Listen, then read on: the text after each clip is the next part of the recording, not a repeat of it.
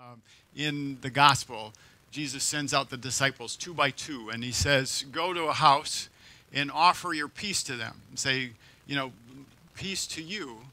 And then where at rest, you're supposed to just make that your home. Those are your people. That's the place that you're supposed to be.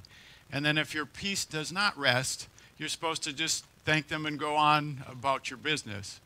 And so I've been praying for those people of peace. And again, we've been talking about that for some time. Peace doesn't just mean, you know, their fists aren't up. It means that they're part of this integrated kingdom of God work. Whether they know it or not doesn't even matter. It's that this, this desire of their heart to be a part of something good, right, pure, noble, and praiseworthy.